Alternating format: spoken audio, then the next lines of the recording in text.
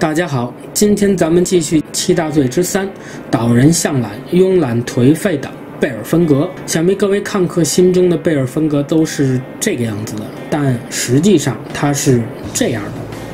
对，这个坐在马桶上的恶魔就是七宗罪懒惰的代表恶魔贝尔芬格了。他的这个样子是在1863年法国地狱词典上首次被确立的。典型特征呢就是山羊角、山羊的耳朵和山羊尾。因为在中世纪的时候，山羊曾经是懒惰的代表，后来山羊就变成淫欲的代表。至于为什么他是懒惰的恶魔呢？又为什么其形象是坐在马桶上呢？那就让我们走进今天的故事吧。故事还要从公元375年开始讲起。这这个时候的基督教已经合法，而且很快即将成为罗马的国教。欣欣向荣的教会便开始思考一个问题：人要做什么事情才算是堕落呢？堕落的人又会受到什么样的惩罚呢？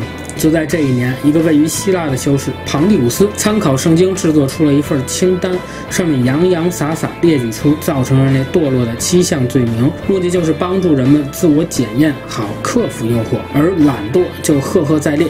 但是你说我宅在家里犯懒，招谁惹谁了？怎么就算罪恶了呢？这啊，就要到基督教的教义里去找答案了。根据基督教教义的解释，一个人懒惰不工作，其他人就得被迫帮他工作。如果一个人不好好完成自己分内的工作，那么其他人是不是就要更加努力，才能使整体的效果保持不变呢？时间来到了十四世纪，在但丁的《神曲》中写道：犯了懒惰之罪的人，还得被扔到炼狱里洗涤自己的罪孽。他们会被扔到一个巨大的蛇坑里，不断的。被追赶，直到你够格登上天堂的阶梯。而贝尔芬格怎么就代表懒惰呢？这其实又是一个拿来主义的故事，也可以说是泛犹太文明在扩张中的必然吧。在希伯来圣经与约翰米尔顿的《失乐园》中描述到贝尔芬格，说贝尔芬格原本是天使，是与作为炽天使的路西法一起堕天的堕天使。根据彼得本斯菲尔德所著的《恶魔分类》中，贝尔芬格是作为七宗罪之一，代表懒惰的大恶魔而为人所知。第十六世。纪的恶魔学家之说法，他的力量在四月的时候会变得比较强，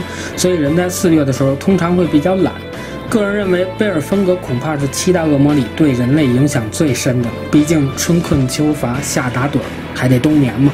在一八一八年的《地狱词典》第一版的描述中，她会变成年轻貌美的女性，然后带着很多钱来诱使人们变得懒惰。不过，在四十年后的第六版，就从一个美女变成了一个坐在马桶上的山羊角中年大叔。从此，贝尔芬格的形象也就就此确立了下来。其实，这贝尔芬格的前身啊，是一个叫做贝尔佩罗的异教神，起源于亚述的巴里比尔，而后被拿来成为了犹太教中的恶魔。宗教学者们发现，在进行贝尔。佩罗的崇拜仪式时，负责召唤的祭祀呢，往往需要露出屁股。也许就是因为这个原因，在犹太教的经典中才衍生出了贝尔芬格喜欢马桶和排泄物的说法，进而演化出想召唤贝尔芬格就必须要献上自己的排泄物这一清奇操作。彼得本斯菲尔德在介绍地狱七王子的时候写道：贝尔芬格的法术是恶魔中最高的，但因为实在是太难了，所以其真实实力无人可知。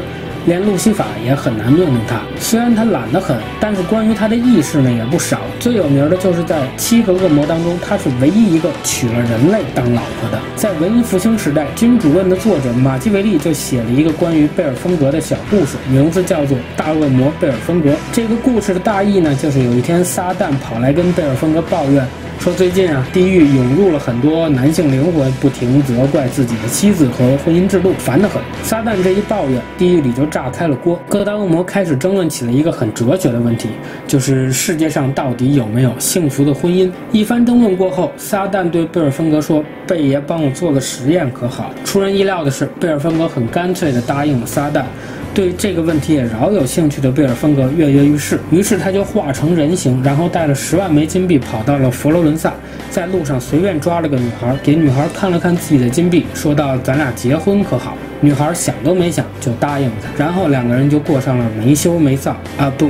生不如死的日子。总之，到最后，贝尔芬格的十万枚银币不但全部报销呢，还欠了一屁股债，被债主各种追着跑。到最后啊，他逃到了一个农民家中，请求农民收留自己。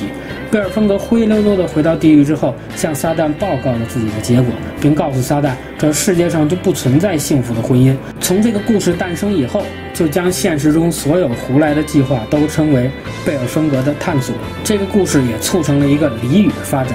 不过在所有作品里，也只有马基维利版的贝尔芬格比较勤劳，剩下几乎都是一副动也不动的颓废样。他被认为是一个会帮助人们发现事物的恶魔，会借由提供人们各种能让他们变得富有的灵巧发明来诱使人们堕落。